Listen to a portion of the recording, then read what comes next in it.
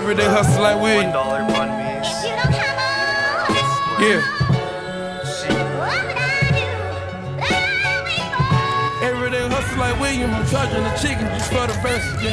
I get in that kitchen, I could go to work, I go berserk. Yeah. Go out and get it, secure the city, can't seem like the Titanic. I like how this is like a chicken bun, I mean breakfast bun. This paper coming to me 24 2x, 5x. Like a the chili sauce and all dollar them told 50 rounds at It's really good.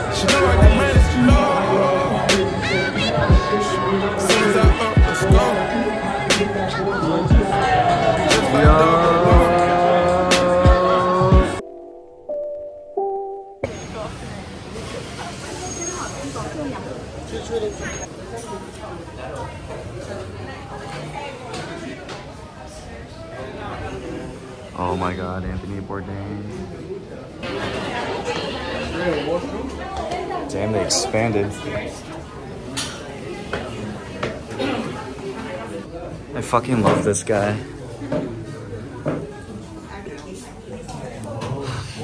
Obama combo. Oh my god, it looks so good.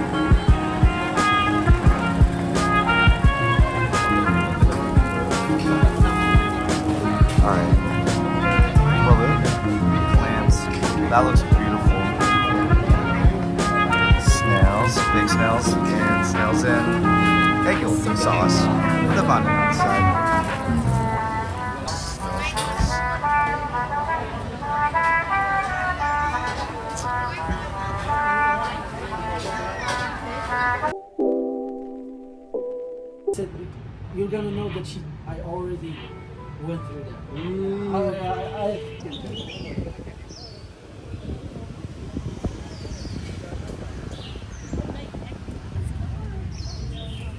We've had so many good discussions, like just since we've been here, about business, about strategy, about macroeconomic factors, about social factors, and about so much different stuff. It's, it's really cool to see and to be able to just talk with someone at such a high frequency about really cool things. And even the other expats here I've met have also been on that level and thinking the same thing. And it's really cool to be around these people and to be able to talk about the history of a country and how that affects the business sphere and their current economy. So really interesting things, learning a lot since I've been here. I can't believe it's only been five days. I felt like it's been longer just from the quality and the density of things going on right now. So more to come. Very cool to see. Right now, I'm reading the book, The Prosperity Paradox, which will help me in my work to understand developing economies even further. Enjoying a nice coconut, uh, Vietnamese coffee, and you know, just enjoying the view. Beautiful weather outside. It is, let's see, it's 78 degrees Fahrenheit. It's been such a journey so far, and we're only getting started.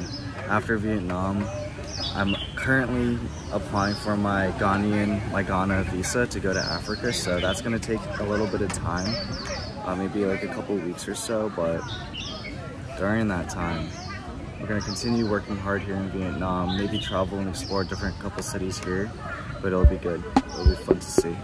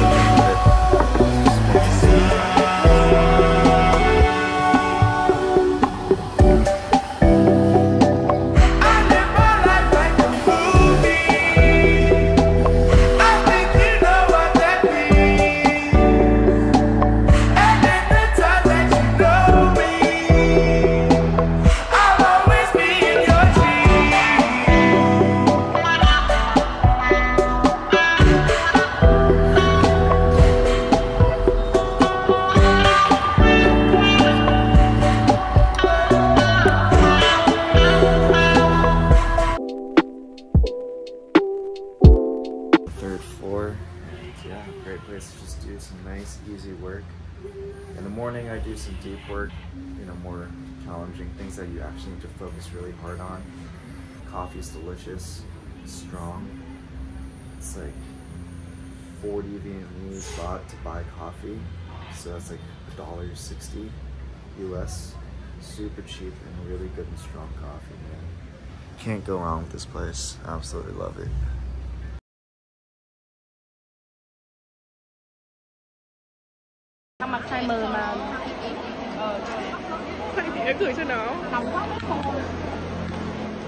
Slurp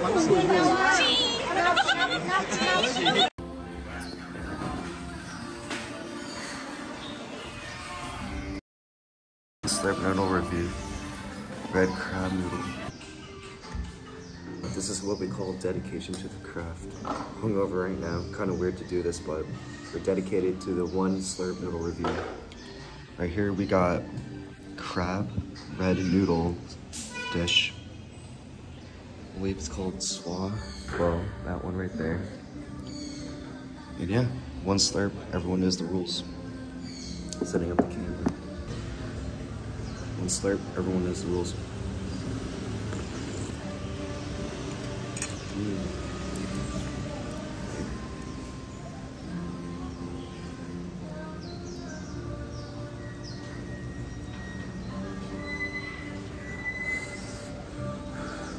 To burn my face off.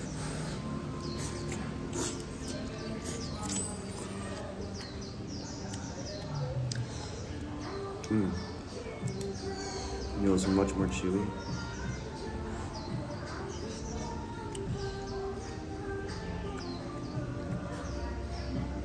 That meat, very flavorful. Resembles much more like pastrami.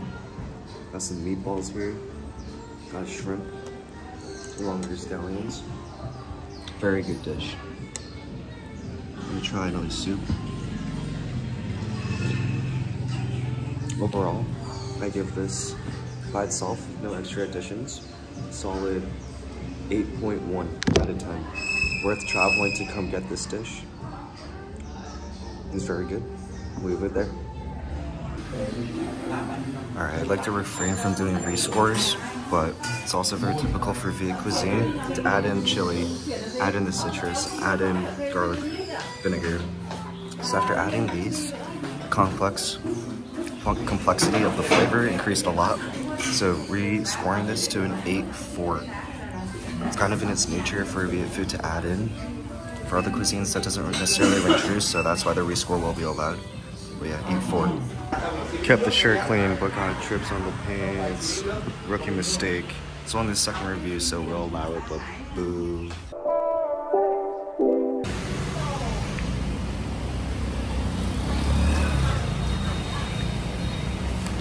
Damn, day after drinking, kind of like hungover and disoriented. Very gloomy outside too, but nothing fixes a gloomy day like a $1 banh mi. You know what I'm saying? 30 baht, like a dollar and like two cents. Great snack. About to get a coffee too. Meh.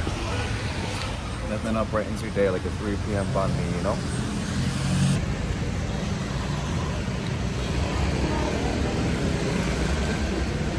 Me and my dog chilling.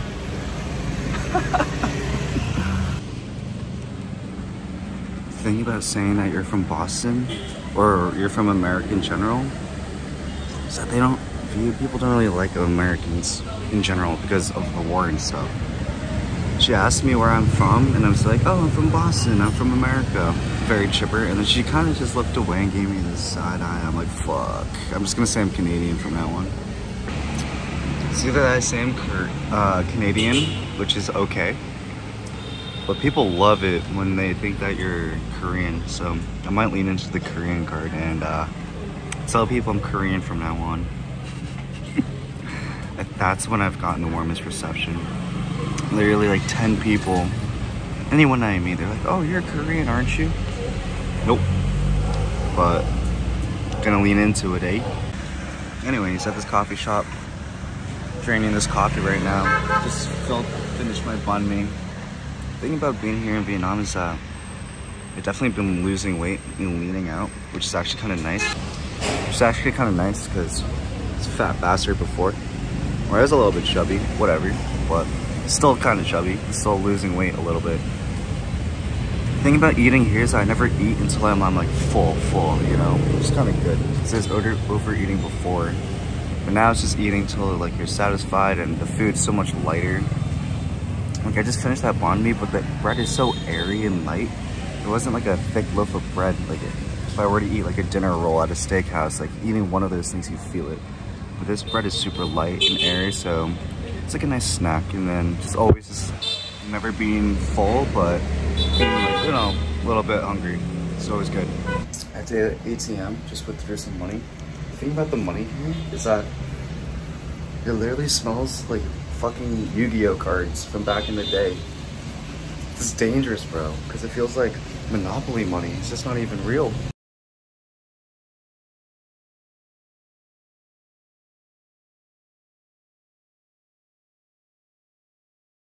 Just finished up a workout. Officially eight days, a little bit more than a week since I've been here. And it felt like so much has happened during that time.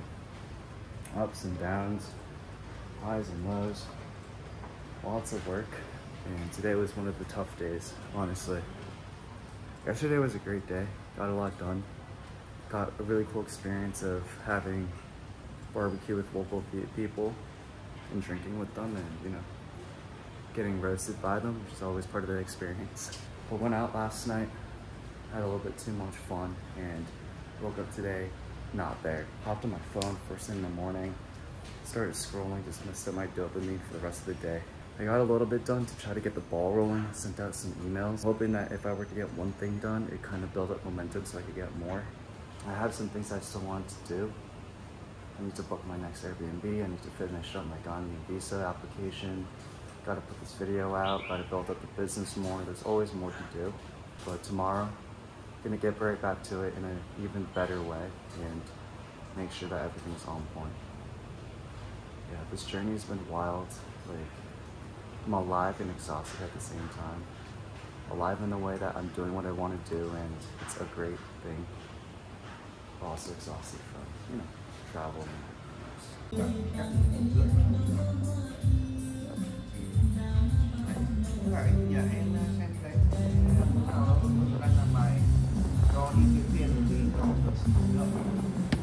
Come on. Fuck yeah, this is beautiful. Fried fish cake, sausage, meat, vermicelli, fermented shrimp paste. Let's go. Wow, this is really nice. Sausage, it's a bit, and then shrimp paste. Mmm. These fish cakes are perfectly fried, fresh out of the fryer.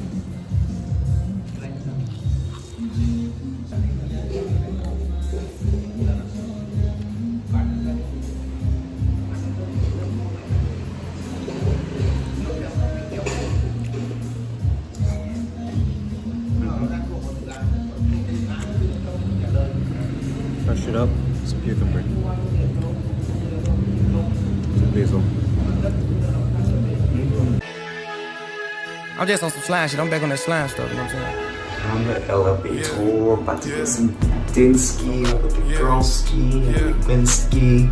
All Friday hoes night in Vietnam, on like, slime shit. All let's get it. hoes spend time Let's go to body. Sunday. Pick my hoe up in a wide body. Eat it right up and don't cry about it. All my hoes get time out.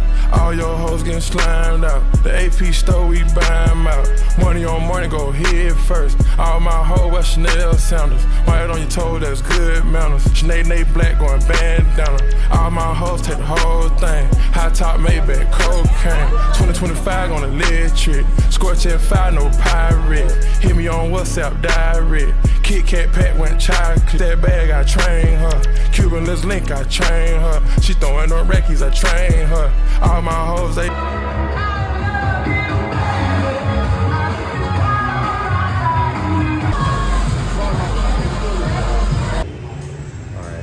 Told I was gonna be consistent. Here with another one bite and. One slurp, everyone knows the rules. Frankly, I have no idea what this is called.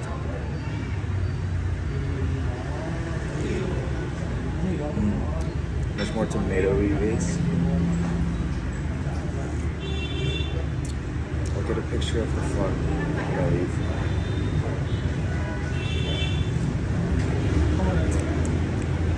Really nice tomatoey. This is still like a chicken broth or some sort.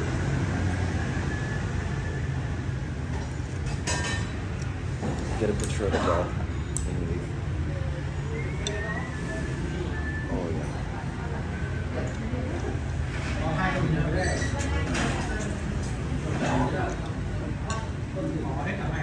Smells good.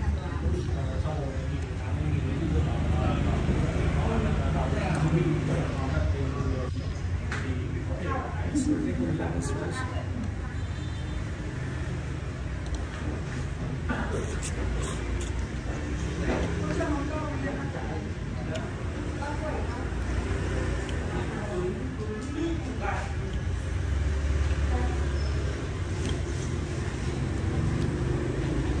I actually quite like the tomatoiness. We'll give this, compared to normal pho, a 7 9. That's it.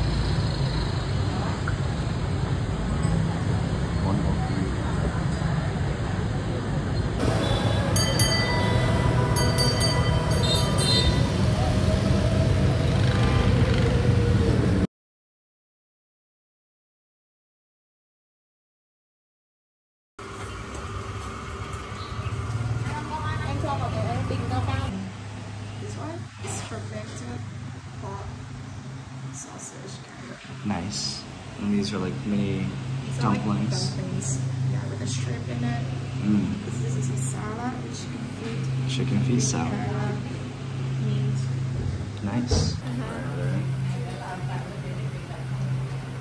Beautiful. I want to actually do what this grass is always.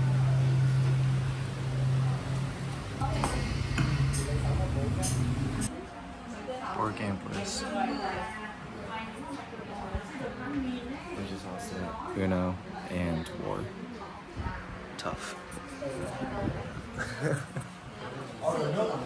What do you have to say for yourself? Um, I'm too smart for these games. She's lucky.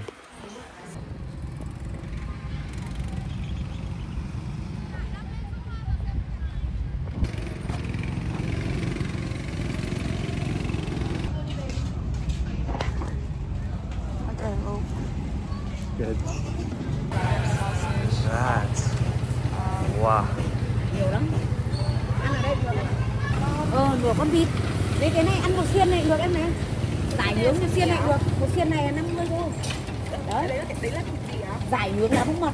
Giải là Là trong thịt của trong người con lợn ấy. Chỉ có một tí thôi, không có nhiều đâu. Ừ, cái đấy không có nhiều đâu. Beautiful. Nice, nice.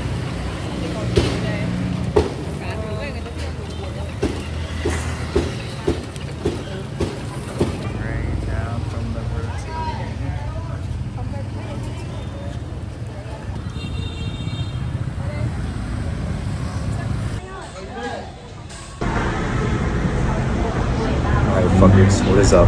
what is up? Another one slurp noodle review. Today's review is a little bit different. So, this is called bunka. I had the I had a version when the same place that Obama went to, but that one is like a pork bunka. This one is different. It's fish. So you get fried pieces of fish on the side. It Comes in a bowl like this with noodles, and then the noodles themselves on the side, like here. So you take the noodle and you dip it into the soup, and then you eat it like that. So one slurp, everyone knows the rules. Here we go.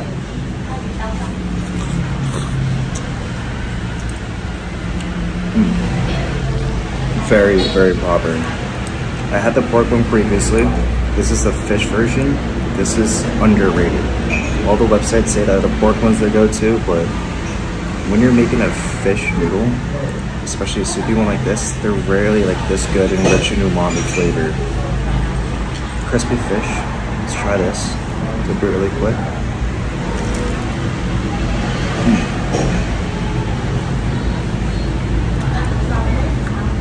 Wow. Fresh fry on the fish is so deep. And like rarely do I you get like good fish noodle soup like this. It's wild. So underrated uh, fish-based wonka with the noodle, dipping it in. I'd say it's at eight, eight six. Here we go. On dude. Less noodles. I'm watching my figure. No shirt splashes. Thank you.